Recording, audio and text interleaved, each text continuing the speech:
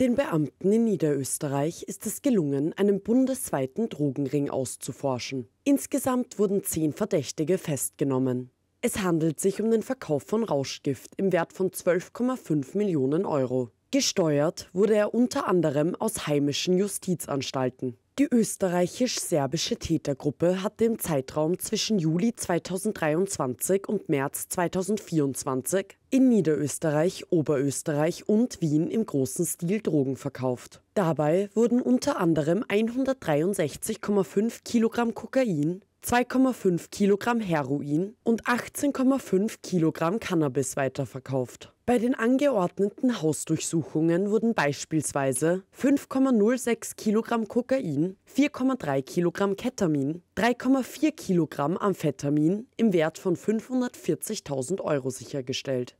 Die illegalen Geschäfte sollen auch mit zwei Insassen der Justizanstalten Hirtenberg und Sonnenberg mittels Mobiltelefone organisiert worden sein. Die Telefone wurden ebenfalls sichergestellt. Die beiden Hauptbeschuldigten, ein 26-jähriger und ein 27-jähriger Österreicher, befinden sich nunmehr in den Justizanstalten Kremsstein und Wiener Neustadt in Haft. Bei weiteren acht Beschuldigten, sechs Männer im Alter von 19, 22, 27, 30, 35 bzw. 47 Jahren und zwei Frauen im Alter von 25 Jahren, handelt es sich um österreichische, serbische und bosnische Staatsangehörige, die sich nun allesamt in Haft befinden. Weitere schwere Delikte konnten ebenfalls nachgewiesen werden. Weitere Ermittlungen laufen auf Hochtouren.